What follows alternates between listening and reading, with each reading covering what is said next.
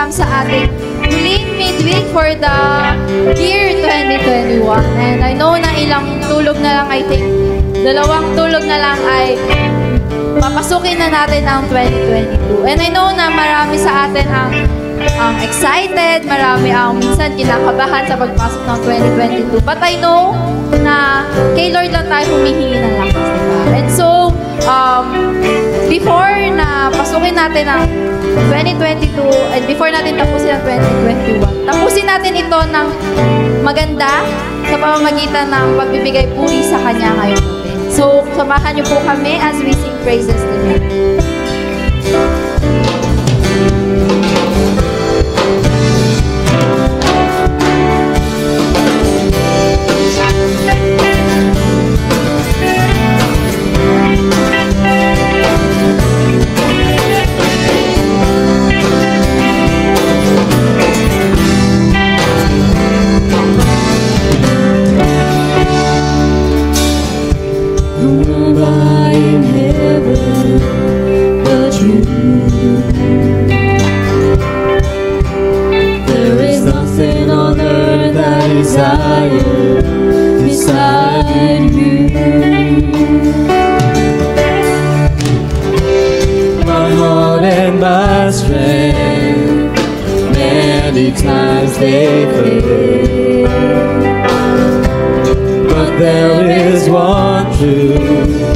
That always.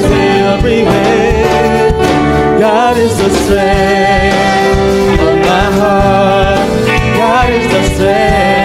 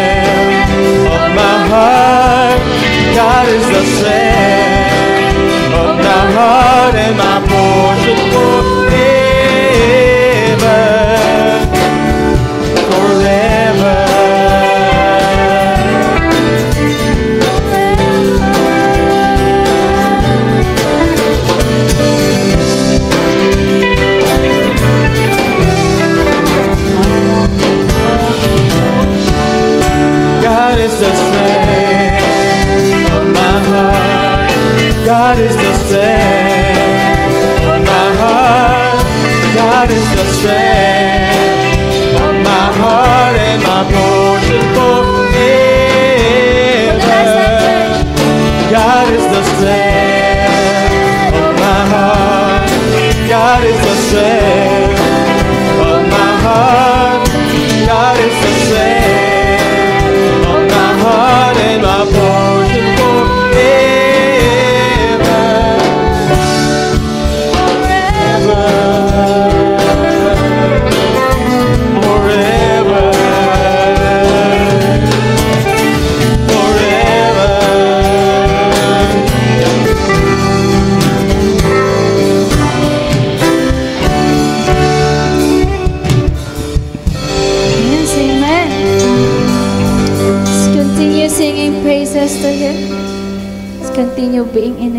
His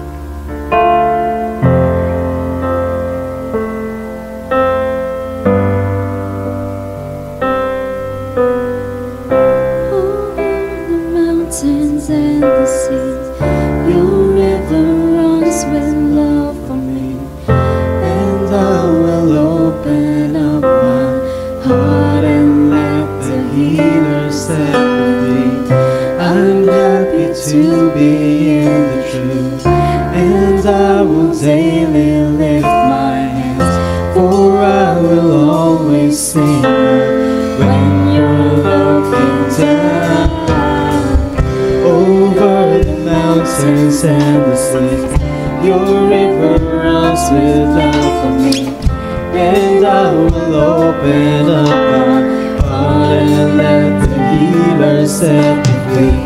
I'm happy to be in the truth, and I will daily lift my hands, for I will always sing up when your love is.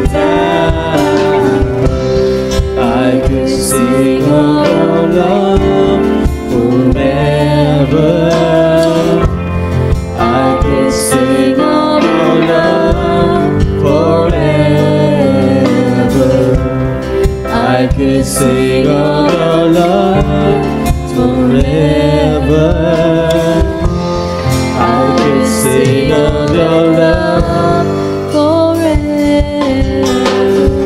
Over the mountains and the seas, your river runs in love for me.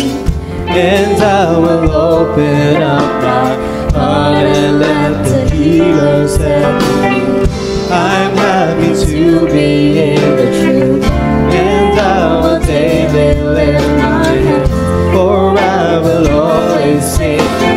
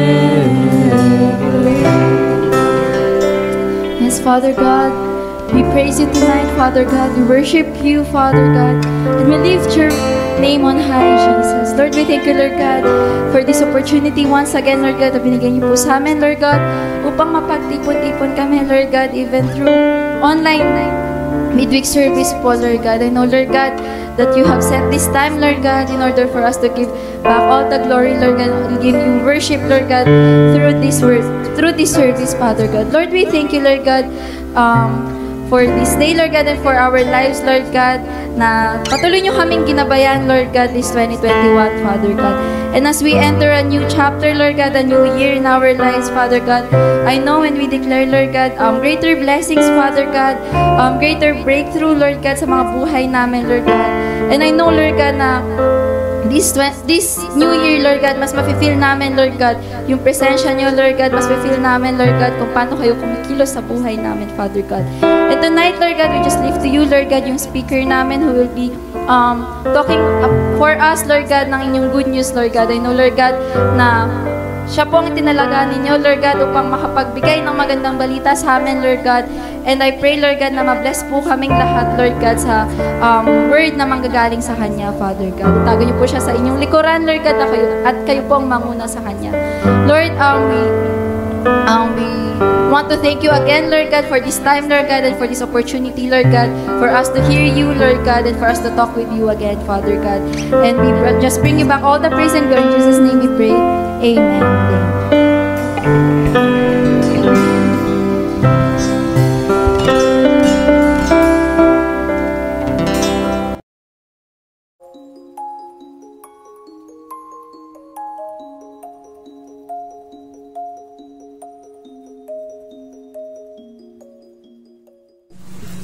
Magandang gabi po mga kapilar. Binabati ko po kayo ng maligayang bagong taon. So marami po sa atin ngayon yung excited sa pagsalubong ng bagong taon. Marami po sa atin yung nagpaplano para po sa 2022. Marami din po sa atin yung excited sa pagsalubong kasama yung kanya-kanyang mga pamilya.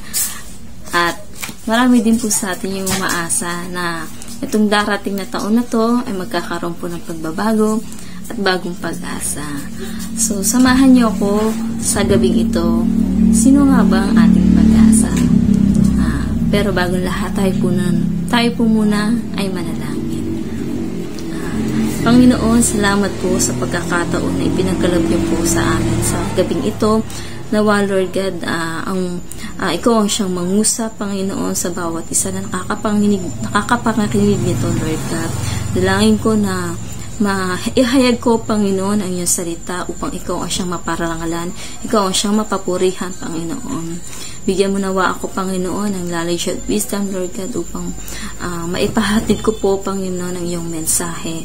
Muli po, Panginoon, kami nagpapasalamat sa pamamagitan po, Lord Jesus, ng iyong banal dugo. Kami ay iyong nilinis, kami ay iyong pinalaya mula sa ayong mga kasalanan, Panginoon. Salamat po sa iyong kabutihan at kadakilaan na siyang patuloy mong pinaparana sa aming buhay. Muli po, Panginoon, samahan po kami ng iyong banal na Espiritu sa gabing ito sa tayong pangalan po ng iyong anak na si Jesus. Amen. So, may konting kwento lang po ako tungkol sa napanood ko, no, The Great Raid. So, nangyari po siya dito sa Pilipinas during uh, Japanese po na sumakop dito, mga Hapon na po sumakop sa ating bansa. So, nagkaroon po kasi sila ng mga prisoners of wars, uh, yung mga American soldiers po na lumaban. So, during that time, uh, yung mga prisoners of wars na po yun is nakaranas po sila ng matinding hirap.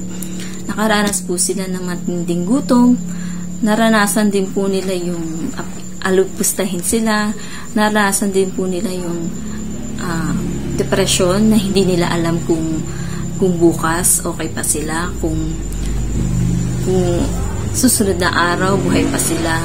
So, eto nga po, so yung iba rin po dito ay matyaga naghihintay po dahil sa nagbabaka sakali, naghihintay na nagtsatsaga na dumating nga po yung tinatawag na rescue na magliligtas sa kanila.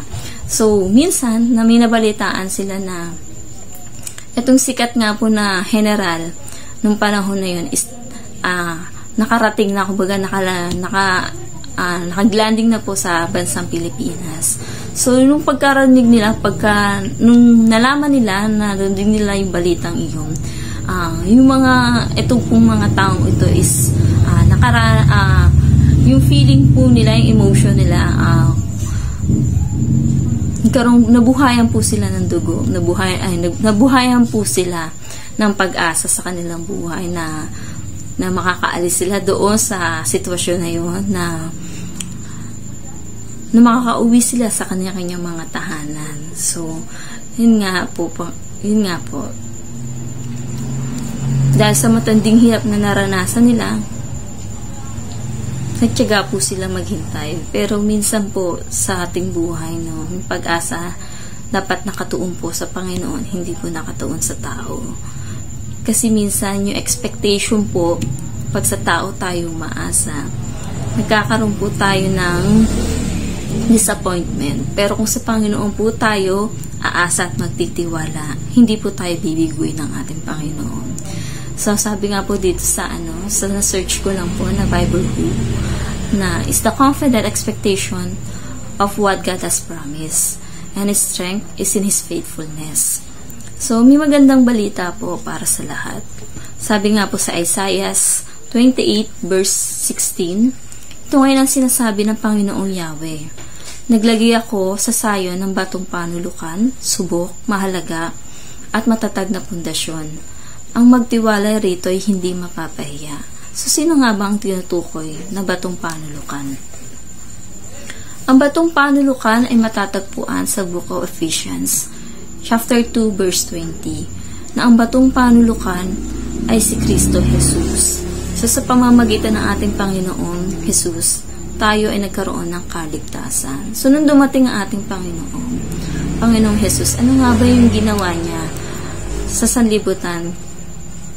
Una, ah, nagpagaling siya ng mga masakit, ng mga may sakit, nangaral, ah, nagpakain ng maraming tao, gumawa ng himala, at naghatid sa atin ng magandang balita na ang sinumang sumampalataya sa Kanya ay magkakaroon ng kaligtasan. Sipin natin mga kapatid, ano nga bang mangyayari kapag walang pundasyon o mahina ang pundasyon ng isang bahay? Maaring bumigay agad ang bahay, madaling masira, Ganun din sa buhay natin. Kapag wala tayong Jesus sa buhay natin, madali rin tayong natatangay ng pagsubok. Madali rin tayong manghihina.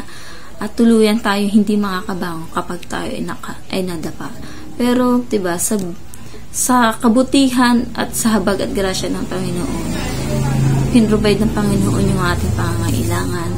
Uh, pinagaling tayo sa ating mga karamdaman, binigyan tayo ng uh, provision, binigyan niyo tayo ng kalakasan.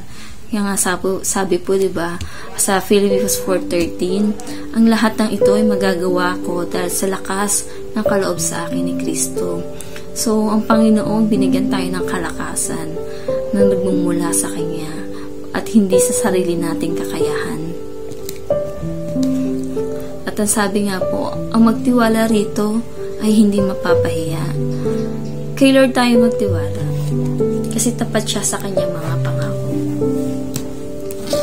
Sa buhay natin, naranasan natin yung kanyang mga pangako. Naranasan natin yung kagalingan. Naranasan natin yung kapag walang-wala tayo. Magugulat na lang tayo na meron na pala. Meron na tayong pera minsan, di ba? Financial support ng Panginoon na nagmumula. Yung mga tao siyang ginagamit para doon. At sa mga taong umaasa sa Panginoon, patuloy lang tayong magtiwala, patuloy tayong manampalataya. Dahil patuloy tayong sasamahan ng Panginoon sa sa ating laban sa ating buhay. So, conclu- uh, conclusion lang po, lagi nating tandaan na ang pag-asa natin ay wala sa feng shui, wala sa horoscope, wala sa loto, at wala kung sino pa. Ang pag-asa natin ay matatagpuan lang natin sa ating Panginoong Yesus lamang. Sabi nga po sa Hebreo 10.23, Magpakatatag tayo sa ating pag-asa at huwag nang mag-alinlangan pa sapagkat ang nangako sa atin may aasahan. Lamang po mga kapatid. At Happy New Year po and good luck and God bless po sa lahat. Now let us declare our mission and vision. Our mission is to glorify God by reaching out and mentoring families, producing spirit-filled leaders and Christ-centered communities. Glorify God, disciple families. And our vision is, by God's grace, to become an influential disciple-making church of Christ-centered families in the Philippines and beyond. Now let us speak blessings to one another. The Lord bless you and keep you.